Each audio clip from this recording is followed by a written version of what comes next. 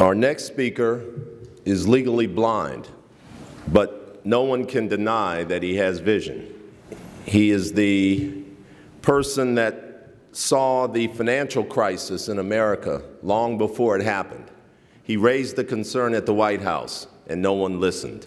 He went to Wall Street, and they turned their back on him. And three months later, the market crashed. He's been on the cutting edge of renewable energy when others were talking about pumping more oil. He was looking for alternatives to oil. And he has been a visionary in the development of high-speed rail. He realizes the importance between traveling rapidly, traveling efficiently, and traveling economically as a mode to stimulate the economy, not just in New York, but in the entire Northeast Corridor. He also recognizes and can see into the neighboring country of Canada and has worked with the minister and the Canadian government to bridge the route of high-speed rail from New York City to Albany to Montreal.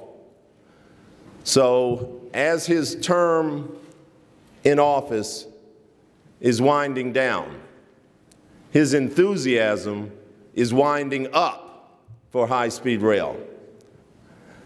He's a charger. He's a person that doesn't quit.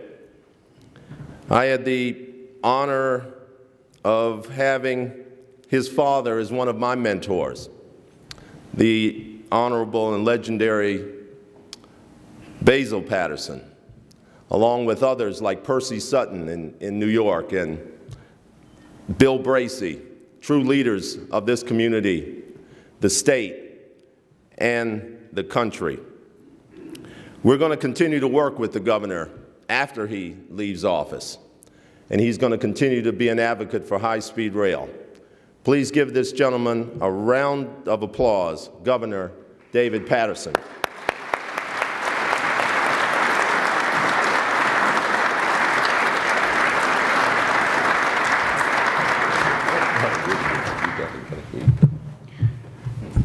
Good morning, and it is an honor uh, to speak before the stakeholders in the development of implementation of high-speed rail uh, as we move forward as a public policy.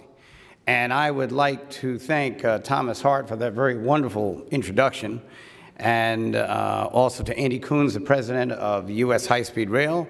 I saw Congressman Paul Tonko in the House, and we're in the district of one of the great advocates of high speed rail over the last generation, Congressman Jerrold Nadler. Uh, in addition to that, um, we have with us the President pro tem of the New York State Senate, New York's current leader in high speed, the development of high speed rail public policy, Malcolm Smith. And of course, to Secretary Mineta, I want to thank him for his very wonderful presentation. Now, if you remember all the way back in the beginning of, of uh, Secretary Mineta's presentation, he said that um, he walked here today rather than using a motorcade. And um, he saw that as actually uh, a way that he is trying to reconcile himself with the pedestrians and the, and the commuters of New York. But actually, he made a wise decision because walking in this area is high speed. And uh, so it was very self-serving on the part of the secretary. And uh, he's been a tremendous, tremendous asset it's um, so wonderful that he's continued to work, particularly for the development of high-speed rail, long after he was our longest-serving Secretary of Transportation, and it is uh, a gift just to have him here this morning. Um, he did talk about the recent decisions of a lot of administrations to abandon transportation pro uh, projects. And I'll speak on that briefly. Um, the governor of New Jersey has made a decision uh, that uh, there is uh, not a a desire to participate at this time and put the resources into the ARC tunnel. And I am not in any way going to criticize the decision made by any executive in this country when 48 of the 50 states are still coming out of deficit and when we have a tremendous recession, perhaps the worst one that we've had in 80 years. And, uh, but what I would say is that decision was somewhat anachronistic and it was sort of counterintuitive to historical development of, eco of economics, which is the only way to get out of this crisis. We're not having a spending crisis, we're having a revenue crisis. And it's the way that we build revenues that's going to accommodate the spending going forward. And so, what I would point out uh, to all of you is that this is how New York, which you've chosen to be the forum of this uh, 2011 High Speed Rail Conference, and it is the first time that you have done so, uh, put it in this area, and we thank you for that. But New York really symbolizes what can be the public policy of the future. And I would illustrate it just by talking about another 19th century miracle, such as the one uh, involving President Lincoln that Secretary Mineta described just a few moments ago. And it was that New York City had a population uh, that was approximately 3% of the national population in 1820.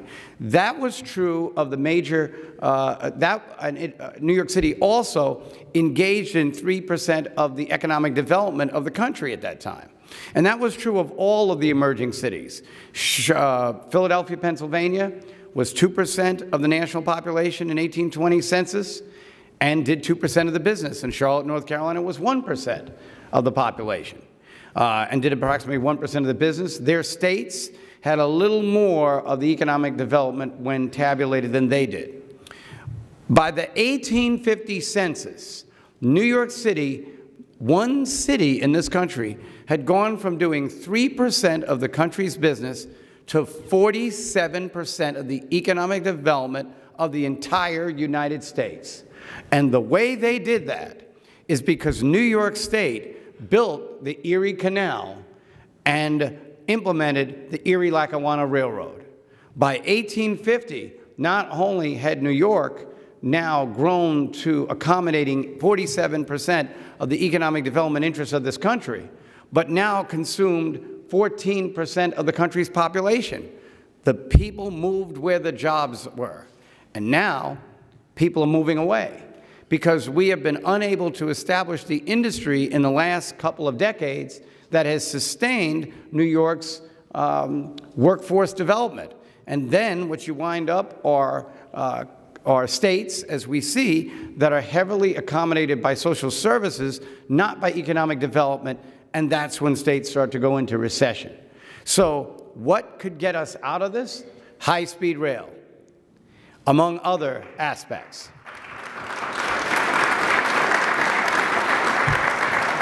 Because what were, what were the congruent uh, benefits to having the Erie Railroad and building the Erie Canal? Transportation. New York took advantage of its geographic location, about an hour and a half shipping time closer to any European port than any other port on the eastern seaboard, and they leveraged it by building up their port, the ports, and the high-speed rail became the center of rail freight and the epicenter of New York State's transportation system. This can happen again, not just for New York, but it can happen for the whole nation, as the Secretary described, building uh, uh, uh, links between Texas and Massachusetts, between Florida and Illinois. And so what, uh, the reason we are so happy to have U.S. Uh, high-speed rail here with us today is because that's what this administration has been doing. I made it clear from the time that I came into office that there will be high-speed rail in New York. And we have gotten high-speed happy around the state over the past few months. On June 4th, our New York State Department of Transportation and Empire State Development Corporation held a high-speed rail forum very similar to this one, where we brought together uh, those from the public and private sector and also um, national scholars on the issue of trying to find the strategies to accommodate uh, the development of high-speed rail. We recognize uh, that in October, that the Federal uh, Railroad Administration granted New York State's Department of Transportation $28.5 million for what is the high-speed intercity um, uh, uh, rail project. And in doing that, it will accommodate what would be repairs, environmental, and modernization projects all over the state. Just on October 29th of this year, the President Pro Tem of the Senate, Malcolm Smith, and I went to Niagara Falls to announce uh, what would be discretionary funding uh, that will build up the infrastructure and the manufacturing base of high-speed rail facilities. And after decades of struggle and negotiation and debate, we have broken ground just in the last two, uh, three weeks on the Moynihan Station, which will replace um, uh, uh, the Penn Station facility and will build back the architectural mastery of the old Penn Station, but more than that, it will be the transportation gateway to New York City, building up the slots for trains for the Long Island Railroad, for Metro North, for Amtrak, and also for New Jersey Transit. That's what we're going to do to create a workforce development, and that's what we're going to do to span economic development all over the state, which will have transportation efficiency, uh, which is what we're going to need moving forward. Just in the last few weeks, we have announced our climate action plan. This is to accommodate the reduction of uh, uh, of fuel emissions by 80% by the year 2050, which a lot of other states are doing. But more than that, as we switch away from air travel to rail transportation travel, we will eliminate if, uh, uh, a lot of the fuel emissions. Now, whether you believe in climate change or not, there's no one that denies that these are pollutants, and this uh, is a way to do it through high-speed rail. And we're doing this during what has been the most deadly and unfortunately uh, the, the most destructive economic period of our issue. We are building now for the future, and the future will arrive on high-speed rail. Uh, just in the last uh, year, New York State has submitted the first um, uh, transportation plan to the federal government so that we can receive federal capital money in 22 years because we would like to be in the forefront of this entire process. As is the problem with a lot of Northeast states, there are really two high-speed rails. There's increasing the speed of trains to 110 to 120 miles an hour, and then there's the high-speed rail that we see in Japan and Germany that we eventually would like to meet where trains could um, move from the distance from here to Albany in approximately 28 minutes. In order to do that, we're going to have to have the same cooperation from federal agencies, from local communities, from policymakers all over the country, from other states, and from the industry that we have right now. So this is a leap forward, this conference and this cooperation in the achievement of high-speed rail protocols in this country over the next 10 to 20 years. I can't thank all of you enough for choosing New York as your venue, and you couldn't have uh, found a better venue because we want to be right within that area. We feel that the future is high-speed rail, and the future is also in New York, uh, which is why we have chosen to go in this direction, and we're so glad that you have as well. Thank you very much.